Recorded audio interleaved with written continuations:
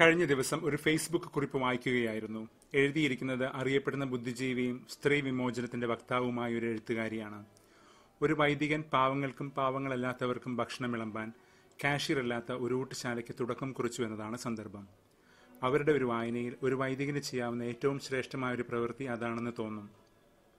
Corona കാലത്ത് നേർച്ച പിരിവ് ലഭിക്കാത്തതുകൊണ്ട് മൈക്രോ ഫിനാൻസ് സംരംഭം കൊണ്ടാണ് വൈദികർ ഉപജീവനം നയിക്കുന്നത് എന്നതാണ് മഹതിയുടെ നിരീക്ഷണം. ഞാനൊരു ഇടവക വൈദികനല്ല മേൽപ്പറഞ്ഞ പണപ്പിരിവ് സംരംഭങ്ങൾ പരിചയവുമില്ല. പക്ഷേ അടക്കാക്കുരുവികളെ പോലും പോറ്റുന്ന നാഥന്റെ പരിപാലനം കൂടുതലായി അനുഭവിച്ചറിഞ്ഞത് ഈ ദാരിദ്ര്യം പിടിച്ച കാലത്ത് തന്നെയാണെന്ന് നെഞ്ചിൽ തൊട്ട് പറയാനാകും. വൈദികർ അടക്കമുള്ള സഭാധികാരികളിൽ നിന്ന് പലതരം ഹുങ്ക് പിടിച്ച അനുഭവങ്ങൾ നമുക്ക് എല്ലാവർക്കും തന്നെ ഉണ്ടായിട്ടുണ്ടാകാം. അത് സഭാധികാരികളുടെ മാത്രം പ്രത്യേകതയൊന്നുമല്ല. ഒരു ശരാശരി പൊതുസ്ഥാപനത്തിൽ ചെന്നാലും എല്ലാവരും കഴിയും വിധം ഹുങ്ക് കാട്ടാറുണ്ട്. അതുകൊണ്ട് തന്നെ തിന്മയുടെ ഭൂത കണ്ണാടിയിലൂടെ കാര്യങ്ങൾ നോക്കി വിലയിരുത്താൻ തുടങ്ങിയാൽ നമുക്ക് നന്ദി പറയാൻ വാക്കുകൾ വറ്റിപ്പോകും. ആ മഹതി പറഞ്ഞതിൽ ഏറ്റവും രസിപ്പിച്ചത് ഇതൊന്നുമല്ല. കൊറോണ ആയതുകൊണ്ട് ഞായറാഴ്ച കുർബാന കാണേണ്ട കുമ്പസാരം ചെയ്യേണ്ട തുടങ്ങി നിരവധി ലാഭങ്ങളുണ്ടത്രേ.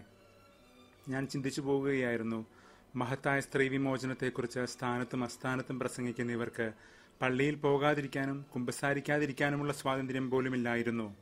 അയ്യോ കഷ്ടം. കൊറോണ വന്നില്ലായിരുന്നെങ്കിൽ പാടുപെടുമായിരുന്നല്ലോ. ക്രിസ്തീയ ജീവിതം എന്നത് ഒരുപിടി വിലക്കുകളും പഴഞ്ചോറുമാണെന്ന് കരുതി വിമ്മിട്ടത്തോടെ ജീവിക്കുന്ന ക്രിസ്ത്യാനി നിനക്ക് പാടെ തെറ്റിപ്പോയി. കഴിഞ്ഞ ഞായറാഴ്ച കണ്ടതുപോലെ കടം നൽകിയവന് പേടിച്ച് തിരിച്ചടവ് നൽകാനാവാതെ ഒളിച്ചിരിക്കുന്നത് പോലെയല്ല ക്രിസ്ത്യാനി തന്റെ നാഥനും കർത്താവുമായവനെ നോക്കിക്കാണുന്നത്. ഇന്ന് സങ്കീർത്തനം നൂറ്റി പതിനാറ് ചോദിക്കുന്നു എന്റെ കർത്താവ് ചെയ്ത നന്മകൾക്ക് ഞാൻ എന്ത് തിരിച്ചടവ് നൽകും? അതൊരു അലങ്കാരപരമായ ചോദ്യമാണ്. ഒരു തിരിച്ചടവ് നൽകാനാകില്ല എന്ന ഉത്തരം അതിൽ തന്നെ അന്തർലീനവുമാണ്. രക്ഷയുടെ പാനപാത്രം ഉയർത്തി ഞാൻ ദൈവത്തിന്റെ സ്തോത്രഗീതം പാടും. അതുമാത്രമേ നന്ദി കൊണ്ടുള്ള തിരിച്ചടവായി നമുക്ക് ചെയ്യാനാകൂ. അതാകട്ടെ സർവജനത്തെയും സാക്ഷി നിർത്തിക്കൊണ്ടുമാണ്. നമ്മുടെ വ്യക്തിജീവിതത്തിന്റെ വിശുദ്ധിയും കൃതജ്ഞതയും ദൈവത്തിന്റെ സ്നേഹം ആസ്വദിക്കാൻ എല്ലാവർക്കുമായി നൽകപ്പെടുന്ന ഒരു ക്ഷണക്കത്തായി മാറുന്നു. ഞാൻ ദൈവത്തെ സ്നേഹിക്കുന്നു അഹാപ്തി കാരണം അവൻ എന്റെ അപേക്ഷയുടെ സ്വരം കേട്ടു. ദൈവത്തെ ആവശ്യം തോന്നുന്നവർക്കേ ദൈവത്തെ സ്നേഹിക്കാനാകൂ. സഭാഗാത്രത്തിൽ അവിടെ ഒരു പൊട്ടും ഒരു പോടും ഇവിടെ ഒരു പൊട്ടലും പോറലും കണ്ടതുകൊണ്ട് ദൈവസ്നേഹത്തിൽ നിന്ന് അകലാൻ യഥാർത്ഥ സ്നേഹിതർക്ക് സാധിക്കില്ല. മനുഷ്യരുടെ ഈ അപജയങ്ങളെയും വീഴ്ചകളെയും കാണുമ്പോഴും അനുഭവിക്കുമ്പോഴും അവർ പറയും മനുഷ്യരെല്ലാവരും അവിശ്വസ്തരെന്ന് കണ്ടപ്പോഴും ദൈവത്തിന്റെ വിശ്വസ്തതയെ ഞാൻ അറിഞ്ഞു. സങ്കീർത്തനം നൂറ്റി പതിനാറ് രണ്ട്. അത് ഏറ്റുപറയുന്നുണ്ട് റോമർ മൂന്ന് നാലിൽ. ഞാൻ കഥനത്തിലാഴ്ന്നപ്പോഴും ഞാൻ വിശ്വാസം കാത്തു സൂക്ഷിച്ചു. സങ്കീർത്തനം നൂറ്റി പതിനാറ് പത്ത്.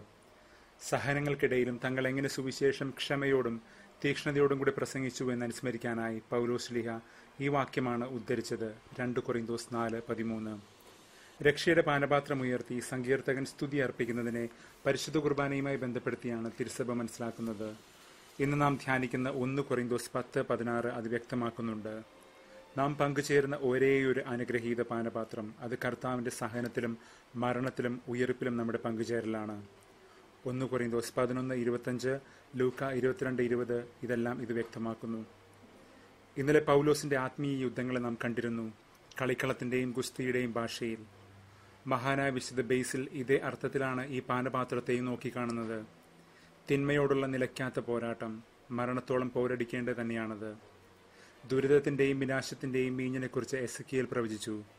ദൈവക്രോധത്തിന്റെ വീഞ്ഞിനെക്കുറിച്ച് ജെറമിയായും പ്രത്യക്ഷത്തിൽ ഭയമുളവാക്കുന്നതെങ്കിലും ദൈവത്തിന്റെ വീണ്ടെടുപ്പിന്റെയും ശിക്ഷണത്തിന്റെയും ഒരു അവിഭാജ്യ ഘടകമാണത്. എന്റെ പിതാവ് എനിക്ക് തന്ന പാനപാത്രം ഞാൻ കുടിക്കേണ്ടതല്ലയോ? ഈശോ പത്രോസിനോട് പറഞ്ഞു കയ്പും വേദനയും സ്നേഹനിരാസവും കലർന്നൊരു പാനപാത്രമായിരുന്നു അന്ത്യത്താഴവേളയിൽ നുരയേണ്ടിയിരുന്നത്. കാരണം മരണം കനന്തിങ്ങിയ ഒരു രാത്രിയായിരുന്നു അത്. അന്ന് തന്നെ കഴിയുമെങ്കിൽ ഈ പാനപാത്രം അകന്നു പോകണമേ എന്ന വേദനയിൽ ഈശോ ഉയർത്തൊലിച്ചു പറഞ്ഞല്ലോ. എന്നാൽ അടുത്ത നിമിഷം തന്നെ കുരിശിനെ അവൻ ആലിംഗനം ചെയ്യുകയും ചെയ്യുന്നു. തന്റെ പിതാവിന്റെ ഇഷ്ടം അതായിരുന്നു എന്നറിഞ്ഞുകൊണ്ട്. പാനപാത്രങ്ങൾ ഉയർത്തി പെസഹാരാത്രിയിൽ യഹൂദർ പാടിയിരുന്ന സ്തുതിഗീതങ്ങൾ ഹല്ലേലുകളിൽ ഒന്നാണ് ഇന്നത്തെ സങ്കീർത്തനം നൂറ്റി പതിനാറ് അത് ഈജിപ്ഷ്യൻ ഹല്ലേൽ ഹല്ലേൽ മിസ്രി എന്നൊരു ഗണത്തിൽപ്പെടുന്നതുമാണ്. ബന്ധനത്തിന്റെയും പാപാന്തകാരത്തിന്റെയും നാട്ടിൽ നിന്ന് ദൈവം വിടുവിച്ചതിന്റെ ഓർമ്മയാണത്. ആ അനുസ്മരണം സ്തുതിയിൽ കലാശിക്കാതെ തരമില്ല. ദൈവം വിശ്വാസദീപം കെടാതെ കാത്തു. വിദ്വേഷവും വഞ്ചനയും ദൂരെയകറ്റി വ്യാജവും അവിശ്വസ്തതയും പുറന്തള്ളി. കപടതയുടെ പടുകുഴിയിൽ നിന്ന് ദൈവം അവനെ ഉയർത്തി. സ്തുതി ഉയരാതെ ഇനി നിർവാഹമില്ല. അതിനാൽ തന്നെ കയ്പിന്റെയും ദ്വേഷത്തിന്റെയും മേഞ്ഞു ചഷകമല്ല രക്ഷയുടെ പാനപാത്രമാണ് നാം കയ്യിലേന്തുന്നത്. അത് മട്ടുവരെ നാം ഊറ്റിക്കുടിക്കുകയും ചെയ്യും. അങ്ങനെ മാത്രമേ ഈ ലോകത്തെ രക്ഷാവീതിയിൽ നമുക്ക് ഉറപ്പിച്ചു നിർത്താനാകൂ. കൃതജ്ഞതാ നിർഭരവും ജീവൽ സമൃദ്ധവുമായ രക്ഷാവീതി. ഇന്ന് കൊറിന്ത്യരോട് ശ്രീഹ പരിശുദ്ധ കുർബാനയെക്കുറിച്ച് പഠിപ്പിക്കുന്നത് ഇതുകൊണ്ട് തന്നെയാണ്. എവുഖരിസ്തിയ പരിശുദ്ധ കുർബാന എന്നാൽ അക്ഷരാർത്ഥത്തിൽ കൃതജ്ഞത എന്ന് തന്നെയാണ് അർത്ഥം. അത് ഒരേ സമയം ബലിയുമാണ് ജീവനാഥന്റെ സാന്നിധ്യവുമാണ്. അതൊരു ബലിയായതുകൊണ്ട് തന്നെ അനുയോജ്യമായ ബലിവസ്തുക്കൾ അതിൽ ചേർക്കപ്പെടണം. നമ്മൾ തന്നെയാണ് ആ ബലിവസ്തുക്കൾ.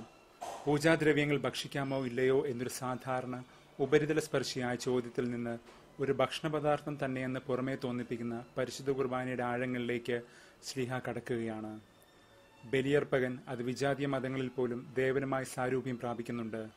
അതുകൊണ്ട് തന്നെ പരിശുദ്ധ കുർബാനയിൽ ബലിയർപ്പിക്കുന്ന നമ്മൾ ക്രിസ്തുവിനോടും സാരൂപ്യം പ്രാപിക്കാൻ തക്കവിധം സമർപ്പണ ബുദ്ധിയും ജീവിത വിശ്വസ്തതയും പ്രകടമാക്കുന്നുണ്ടോ എന്നാണ് പൗലൂസ് ഉയർത്തുന്ന ചിന്താവിഷയം. പരിശുദ്ധ കുർബാനയെ ഐക്യം കമ്മ്യൂണിയൻ എന്ന് വിളിക്കുന്ന ഭാഗമാണിത്. ഐക്യത്തിന്റെയും സ്നേഹദൃഢതയുടെയും അടയാളം. പലരായിരുന്ന നമ്മൾ ഛിന്ന ഭിന്നമായിരുന്ന നമ്മൾ മേലിൽ ഒന്നായി ഒരേ ദൈവശരീരമായി മാറുന്നു. വിശുദ്ധ അഗസ്റ്റിൻ കുറിച്ചതുപോലെ ഈശോ പറയുകയാണ് സാധാരണ ഭക്ഷണം കഴിക്കുമ്പോൾ അത് നിങ്ങളായി മാറുന്നു. എന്നെ ഭക്ഷിക്കുന്നവനാകട്ടെ ഞാനായി മാറുന്നു. വിജ്ഞാനം അഹങ്കാരം കൊണ്ട് ഊതി വീർക്കുമ്പോൾ സ്നേഹം എല്ലാം കെട്ടിപ്പടുക്കുന്നുവെന്ന് നാം കഴിഞ്ഞ ദിവസം കൊറിയന്ത്യരിലൂടെ ധ്യാനിച്ചല്ലോ. ഇന്ന് നാം നിർമ്മിക്കുന്ന ഈ ഭവനത്തിന്റെ ഐക്യത്തിന്റെ കെട്ടുറപ്പ് ഈശോ പരിശോധിക്കുകയാണ്. മണൽപ്പുറത്ത് പണിത വീടും പാറമേൽ പണിതതും. മുകളിൽ മണലാകാം പക്ഷെ ആഴത്തിൽ കുഴിച്ചാൽ നാം കടും പാറയിൽ തട്ടും. അതിനൊപ്പിച്ച അടിസ്ഥാനമിട്ടാൽ ഉറപ്പായും നിലനിൽക്കാം. നമ്മൾ പലപ്പോഴും മേൽത്തട്ട് മാത്രമേ കാണൂ.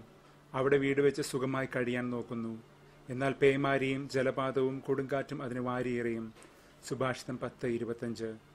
എന്നാൽ ക്രിസ്തു ക്രിസ്തുവെന്ന ആഴത്തിലുള്ള അടിസ്ഥാനശിലയെ കണ്ടെത്തിയാലോ അതിൽ സ്ഥാപിച്ചുറപ്പിച്ച് നമ്മുടെ കെട്ടുകൾ സുഭദ്രമാകും. ആ ശില ക്രിസ്തു തന്നെയെന്ന് ഒന്ന് കുറിന്തോസ് പത്ത് നാല്. അത് കണ്ടെത്തുവോളം ആഴത്തിൽ കുഴിക്കണം. അതുകൊണ്ട് തന്നെ ചുണ്ടിലെ വാക്കും വേഷത്തിലെ ക്രിസ്തീയതയും മാത്രം പോരാ. ദൈവത്തിന്റെ ഇഷ്ടം നിറവേറ്റണം. യാക്കോബ് ശ്ലിഹ ഇന്ന് ഇവിടെ ഈശോ പഠിപ്പിച്ചതിനെ സവിസ്തരം പഠിപ്പിക്കുന്നുണ്ട്. യാക്കോബ് ഒന്ന് ഇരുപത്തിരണ്ട് ഇരുപത്തഞ്ച് വരെ.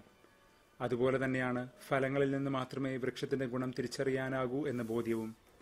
നിലം പാഴാക്കുന്ന വൃക്ഷങ്ങളെ ദൈവം നോട്ടമിടുന്നുണ്ട്. ലൂക്ക പതിമൂന്ന് ആറ് മുതൽ. അവയുടെ കടക്കൽ കോടാലി വയ്ക്കപ്പെടുന്ന സമയം വന്നു കഴിയുകയും ചെയ്തു. ലൂക്ക മൂന്ന് ഏഴ് മുതൽ. അതുകൊണ്ട് ചായ കുടിക്കുകയോ കുടിപ്പിക്കുകയോ കുർബാന അർപ്പിക്കുകയോ സംബന്ധിക്കുകയോ ചെയ്യുമ്പോൾ ദൈവസ്നേഹത്തെ പ്രതി ചെയ്യുക. ദൈവസ്വരം കേട്ടുകൊണ്ട് അല്ലെങ്കിൽ ആ മണൽപ്പുറത്തെ ഭവനം പോലെ നാം വീണുപോകും. ആ വീഴ്ച ഭയാനകവുമായിരിക്കും. മനുഷ്യരുടെ അഭിപ്രായത്തിനൊക്കെ മേൽമണ്ണിന്റെ കനമേയുള്ളൂ.